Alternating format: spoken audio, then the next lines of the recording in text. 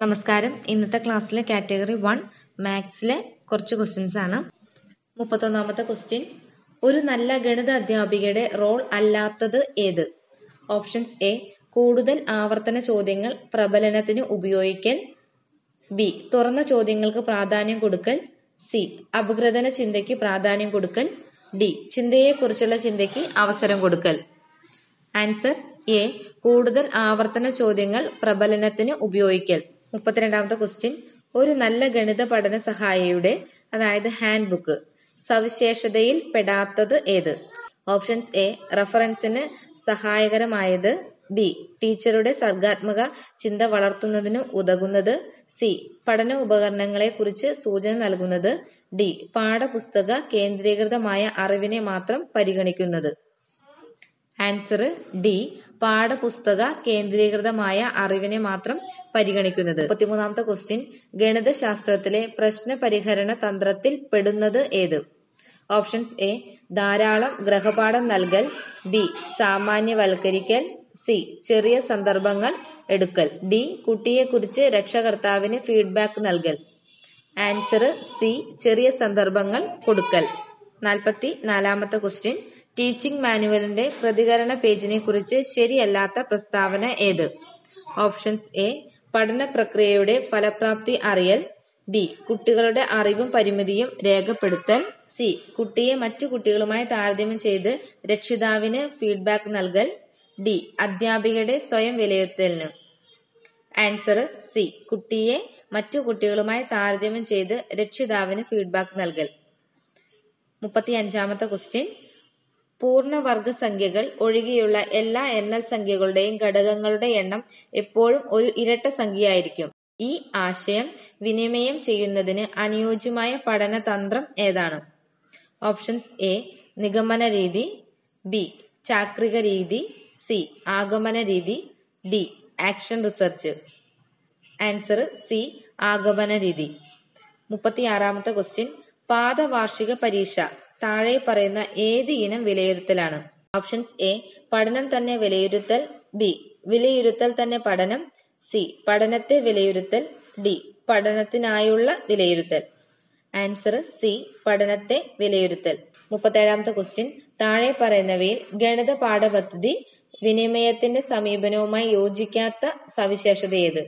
Options A പ്രവർത്തനാധിഷ്ഠിതമായത് B നിത്യജീവിതത്തിലെ പ്രശ്നങ്ങൾ അപഗ്രഥിക്കൽ സി. ആർജിത അറിവിനെ മാത്രം പരിഗണിക്കൽ.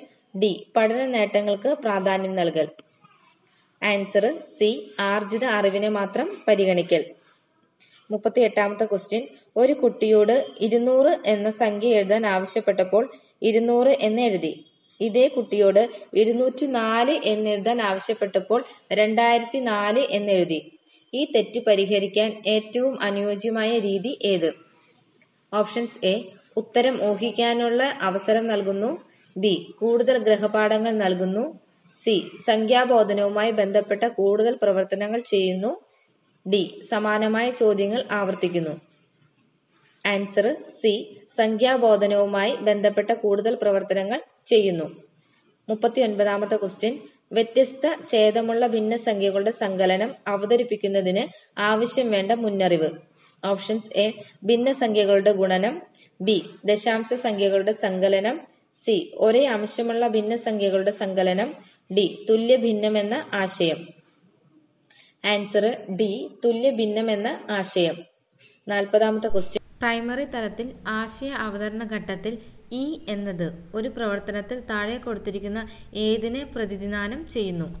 Options A. മൂർത്ത വസ്തുക്കൾ ഉപയോഗിച്ചുള്ള പ്രവർത്തനം. ബി. സംഖ്യ എഴുതൽ. സി. സംഖ്യയെ വാചികമായി പറയൽ. ഡി. സംഖ്യയെ സൂചിപ്പിക്കുന്ന ചിത്രം വരയ്ക്കൽ അല്ലെങ്കിൽ തിരിച്ചറിയൽ. Answer A. മൂർത്ത വസ്തുക്കൾ ഉപയോഗിച്ചുള്ള പ്രവർത്തനം. നാൽപ്പത്തൊന്നാമത്തെ ക്വസ്റ്റ്യൻ. ഡിസ്കൗണ്ട് എന്ന ആശയം അവതരിപ്പിക്കുന്നതിന് ആവശ്യം വേണ്ട മുന്നറിവ് ഏതാണ്? Options A. ദശാംശ സംഖ്യകളുടെ ഹരണം. ബി. ശതമാനം എന്ന ആശയം. സി. അംശബന്ധം എന്ന ആശയം. ഡി. ഭിന്നസംഖ്യകളുടെ ഹരണം. ആൻസർ ബി ശതമാനം എന്ന ആശയം. നാൽപ്പത്തിരണ്ടാമത്തെ ക്വസ്റ്റ്യൻ താഴെ കൊടുത്തിരിക്കുന്നവയിൽ ഗണിത നിഘണ്ടുവിനെ സംബന്ധിച്ച് ശരിയല്ലാത്തത് ഏത്? ഓപ്ഷൻസ് എ പഠന പ്രവർത്തനത്തിന്റെ ഭാഗമായി കുട്ടികൾ നിർമ്മിച്ചത്. ബി പഠന പ്രവർത്തനത്തിന്റെ ഭാഗമായി അധ്യാപകൻ നിർമ്മിച്ചത്. സി പുതിയ ആശയങ്ങളും ധാരണകളും എപ്പോഴും കൂട്ടിച്ചേർക്കാൻ പറ്റുന്നത്. ഡി ഒരു റഫറൻസ് മെറ്റീരിയലായി ഉപയോഗിക്കാൻ കഴിയുന്നത്. ആൻസർ ബി പഠന പ്രവർത്തനത്തിന്റെ ഭാഗമായി അധ്യാപകൻ നിർമ്മിച്ചത്. നാൽപ്പത്തിമൂന്നാമത്തെ ക്വസ്റ്റ്യൻ ഒരു ത്രികോണത്തിന്റെ പരപ്പളവ് അതിന്റെ പാദത്തിന്റെയും പാദത്തിലേക്കുള്ള ലംബത്തിന്റെയും ഗുണനഫലത്തിന്റെ പകുതിയാണ്. ഉദാഹരണം പാദം ഈക്വൽ ടു പത്ത് സെന്റിമീറ്റർ ലംബം ഈക്വൽ ടു എയ്റ്റ് സെന്റിമീറ്റർ പരപ്പളവ് equal to one by two into ten into eight equal to forty ചതുരശ്ര സെന്റിമീറ്റർ ഇത് ഏത് പഠനരീതിയാണ് സൂചിപ്പിക്കുന്നത്? എ പ്രോജക്റ്റ് രീതി ബി നിഗമന രീതി സി ഹ്യൂറസ്റ്റിക് രീതി ഡി ആഗമന രീതി. ആൻസർ ബി നിഗമന രീതി. നാൽപ്പത്തിനാലാമത്തെ ക്വസ്റ്റ്യൻ. പ്രോജക്ട് രീതിയുടെ പ്രധാന സവിശേഷതയിൽ പെടാത്തത് ഏത്? ഓപ്ഷൻസ് എ ഓർമ്മശക്തി വർദ്ധിക്കുന്നു. ബി അപഗ്രഥന ചിന്ത വളരുന്നു. സി ഗവേഷണ മനോഭാവം വളരുന്നു. ഡി ഗണിത പഠനത്തിൽ താല്പര്യം വളരുന്നു. ആൻസർ എ ഓർമ്മശക്തി വർദ്ധിക്കുന്നു. നാൽപ്പത്തഞ്ചാമത്തെ ക്വസ്റ്റ്യൻ ഗണിത പ്രക്രിയ ശേഷിയിൽ പെടാത്തത് ഏത്? ഓപ്ഷൻസ് എ സാമാന്യവൽക്കരിക്കൽ. ബി തീരുമാനമെടുക്കൽ. സി ചോദ്യങ്ങൾ ചോദിക്കൽ. ഡി ഗ്രഹപാഠം ചെയ്യൽ. ആൻസർ ഡി ഗ്രഹപാഠം ചെയ്യൽ. നാൽപ്പത്തി അഞ്ചാമത്തെ ക്വസ്റ്റ്യൻ ഗണിതത്തിലെ വാർഷിക പരീക്ഷ ഏത് ഇനം വിലയിരുത്തൽ രീതിയാണ്? ഓപ്ഷൻസ് എ പഠനത്തിനായുള്ള വിലയിരുത്തൽ. ബി പഠനത്തെ വിലയിരുത്തൽ. സി. വിലയിരുത്തൽ തന്നെ പഠനം. ഡി. പഠനം തന്നെ വിലയിരുത്തൽ. Answer B. പഠനത്തെ വിലയിരുത്തൽ. നാൽപ്പത്തേഴാമത്തെ ക്വസ്റ്റ്യൻ. ഒരു നല്ല ഗണിത അധ്യാപിക സഹായിയുടെ സവിശേഷത അല്ലാത്തത് ഏത്? Options A. അധ്യാപകരുടെ സർഗാത്മ ചിന്ത വളർത്തുന്നത്. ബി. ഗണിതാശയത്തിനു ചരിത്രത്തെക്കുറിച്ച് സൂചന നൽകുന്നത്. സി. വ്യത്യസ്ത നിലവാരക്കാരായ കുട്ടികളെ പരിഗണിക്കുന്നവർ. ഡി. ഉള്ളടക്കവും വലിപ്പവും കൂടുതലുള്ളത്. ആൻസർ ഡി ഉള്ളടക്കവും വലിപ്പവും കൂടുതൽ ഉള്ളത്. നാൽപ്പത്തെട്ടാമത്തെ ക്വസ്റ്റ്യൻ ഗണിതവൽക്കരണത്തിൽ പെടാത്തത് ഏത്? ഓപ്ഷൻസ് എ യുക്തിചിന്ത ബി ചിന്തയെക്കുറിച്ചുള്ള ചിന്ത. സി ഒരേപോലെയുള്ള ഗണിത പ്രശ്നങ്ങൾ ആവർത്തിച്ച് ചെയ്യൽ. ഡി പട്ടികപ്പെടുത്തൽ. ആൻസർ സി ഒരേപോലെയുള്ള ഗണിത പ്രശ്നങ്ങൾ ആവർത്തിച്ച് ചെയ്യൽ. നെക്സ്റ്റ് ക്വസ്റ്റ്യൻ എലമെന്റ്സ് ആരുമായി ബന്ധപ്പെട്ടിരിക്കുന്നു? A Descartes B Euclid C പിയാഷെ D Gagne. Answer B Euclid. Last question teaching മാനുവലിന്റെ പ്രതികരണ പേജ് എഴുതുന്നതിന്റെ ഉദ്ദേശങ്ങളിൽ പെടാത്തത് ഏത്? ഓപ്ഷൻസ് എ പഠന പ്രവർത്തനത്തെ വിലയിരുത്തുന്നതിന്. ബി ഭിന്ന നിലവാരത്തിലുള്ള കുട്ടികളെ തിരിച്ചറിയുന്നതിന്. സി പഠിതാവിന്റെ പഠന പുരോഗതി തിരിച്ചറിയാൻ.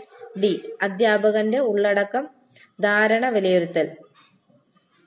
ആൻസർ ഡി അധ്യാപകന്റെ ഉള്ളടക്കം ധാരണ വിലയിരുത്തൽ.